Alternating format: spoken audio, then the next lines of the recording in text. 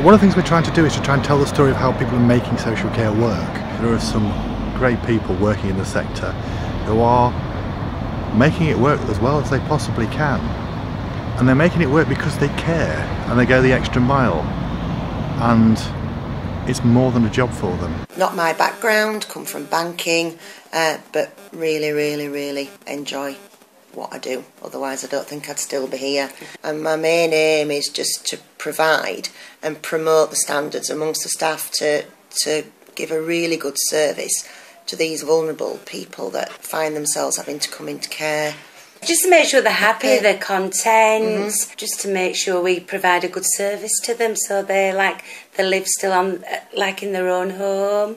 And we're looking at everything from daycare to respite to transitional beds um, because obviously there are a lot of people that are in hospital whose aim is to go back home but they're just not quite ready. So that's in the process at the moment. The plans have been submitted and hopefully with Calderdale and CQC support by the end of the year we hope to have another six bedroom unit up and up and running which will be sort of run parallel to Valley View but it'll be diff- it'll be different we're very much into dementia. Mm. Uh, we have four EMI registered beds here at Valley View, but quite a huge population that are starting to come into care do have some form of dementia, Alzheimer's, and capacity issues. But with that, I feel they're physically fitter. So you've got two. You've either got you know, people that are physically infirm or sadly, you know, are dealing with capacity issues. So we're very much into dementia. We do sort of quite a lot of activities. I think that will be providing a really good service. And respite, because we're only such a small home here, we can't keep certain beds just for respite and so many families that are in the community that, need that you know that little bit of a break and they feel like they're coming on a holiday I can only do as I have a vacancy. Whereas this will hopefully be able to provide somewhere where people can can pre-book. So you we knew that for Valley View to stand still as it as, as it is now it is not where the future's going to be. Because by the time someone does need to come into care the needs are so much higher you know, so we, we have to move with the times to help uh, meet the needs. Them, our own personal relationship manager, who's really friendly, approachable, efficient. She drops an email. She's called Michelle Wright. She's been wonderful for Valley View because I'm sure I'm not the only provider that has felt like these challenges and funding and vacancy levels because obviously people are staying at home you know, there's come a time where you think, gosh, is this really what I want to do and do I want to carry on? So I think that the council in the last 18 months have been the the best support that I've found we've ever had. We decided um, that we'd base it on the worst business model going, which was to charge our customers the least, um, pay our staff the most, uh, provide permanent contracts rather than zero hours contracts, and we'd aim the business um, in the first instance in the Upper Valley um, area of Calderdale, uh, which we felt there was a, a, lack of services. 500 care calls a day, um, about 2,000 hours a week we're doing. I've worked with 60, 70 different local authorities and uh, NHS establishments. The, the thing that I, I, I, find really refreshing about um, Calderdale is it's creative, um, it's innovative, it's uh, solution focused, positive, and, and, and there's lots of informal networks, of people working together to achieve something which you couldn't possibly achieve um, in, in a singular format. Um, so that works really well.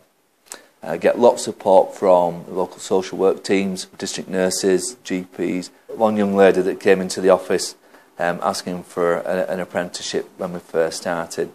Um, 17 years of age, heels that tall and eyelashes out here. Um, and I, oh, what's she going to be like working with some, you know, quite mardy elderly people at times and, you know, delivering personal care and, uh, uh, uh, and, she was absolutely fantastic. She'd walk around the streets of Mytholmroyd, Hebden Bridge, um, you know, two miles, two and a half miles, just, just to go do it. A 15 minute security check on somebody to make sure that they're taking the medication or that they were all right. Um, she was doing social calls on a, on a voluntary basis, so Um, those customers that uh, didn't have a large package of, support um, or few relatives or family, she would go visit them in her own time. She's now progressed on to nursing after her apprenticeship and, you know, a, a real success story. When my son told me that the roads were closing on Boxing Day morning, we lost £25,000 worth of stock. Our uh, retail shop was five foot underwater, the offices were underwater, no telephones, no electricity, software gone down for the rota system. Staff team were absolutely superb. Of course, it's Boxing Day, rescue services were finding it difficult to come through.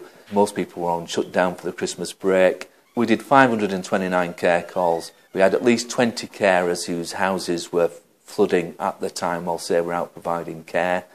And we coordinated everything from the, our kitchen at our house in Blackshaw Head. People were superb. They knew the calls that they needed to do.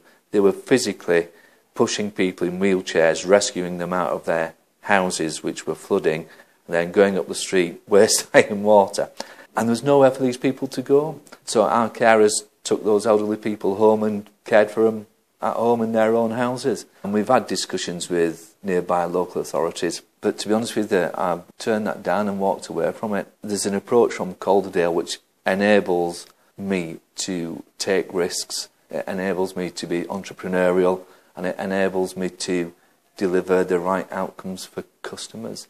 And if I get it wrong or my team gets it wrong, then there's a supportive network of people to help me get it right. On a Monday I go to Ives. We run a shop. It's up Hampton Lane. Everything clothes, sweets, biscuits, everything they can get their hands on. I go to Scope on a Friday and we back, we go, we go swimming every week. Nearly every week. Uh, we work with uh, 38 schools at the moment and uh, over the next couple of months, for example, we'll be doing homelessness prevention workshops in these 38 schools. And the deals with the heads is that they ask the children to bring in a tin of beans, some toothpaste, some deodorant, etc., etc. And we get sufficient food and hygiene goods from those presentations to actually last us the, the, the next 12 months. We have an education centre whereby we undertake life skills training. We've got an allotment. So from March through to uh, October, we teach people to grow their own fruit and veg. We've always got waiting lists.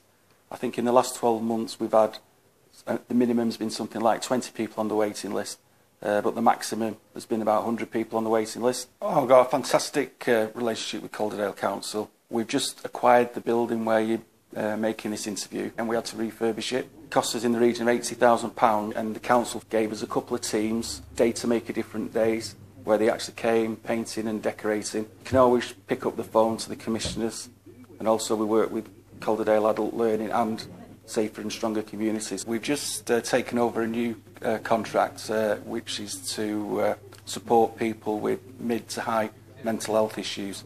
So the, the job now is to embed that new service and uh, to make sure it's a success. Also, there's been highlighting the key areas going forward, and homelessness was one of those areas identified. So the next job is to recruit another member of staff to try and get the waiting list down a little bit further. Yeah, I suppose it, it is it's to uh, inspire and support people on a journey back to independence. And I go to advocate groups every fortnight with Karen. You speak up and listen. Do voluntary work. Oxfam in Halifax, Monday, Friday, Friday and Saturday. If there is any problems, I take them back to partnership board. I got a award last time from Advocate because this house I were up this house were up for tender before, so yeah, and I took it to social services. We have a member of the contracts team who we have a communication deal with daily if we need it. It's always there, very supportive if we have any issues or concerns or just general inquiries, um, things that we're not too sure about. We, we just either email Ruth or, or we ring her on the phone and, and she's always, you know, straight back to us within a 24 hours really. So if we've anything that we need clarification on, then we, we, we just contact the, the contracts team, any safeguarding alerts, you know, gateway to care, and everyone's always been really helpful. Process with Calderdale Council is, is, is quite easy. It's not a difficult process. The safeguarding alert form is, is quite easy to fill in. And yeah, they've always been really supportive. Come round and, and give us recommendations and then give us chance to sort of like work on those recommendations and then tell us where you know, think we could do a little bit more or where we're excelling. Um, so no, it's good to have their input. When we first set up the service, we had um, planning permission, which basically limited the number of clients coming to the service to 20 a day. Currently, I have 44 clients on our attendance register over the week. Our busiest day only contains 20 clients. And we felt as the services around us were closing down, more and more clients were approaching us with regards to our service and having to turn people away because we just don't have the places for them anymore.